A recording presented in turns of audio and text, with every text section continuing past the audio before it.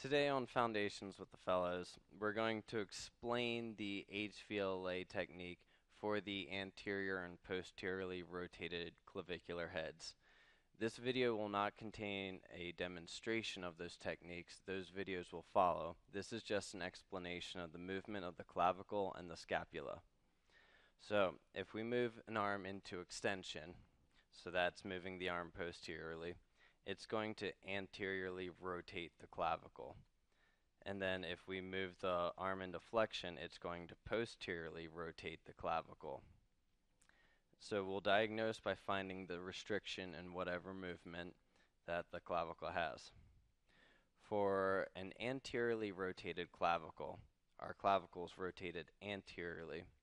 So the way we're going to start our treatment is by moving the arm anteriorly forcing that clavicle into posterior rotation. We will find the clavicle's barrier then, and we will lock that into place by grabbing it with our hand, our cephalad hand. Then we're going to move the arm posteriorly, trying to move the scapula to its barrier so that it matches up with that clavicle.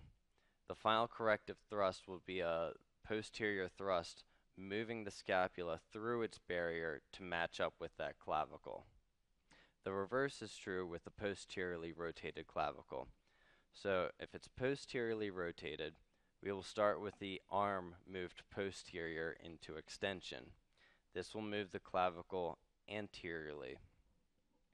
Then, as we move the arm to into flexion, we're going to be moving the scapula to its barrier relative to the clavicle.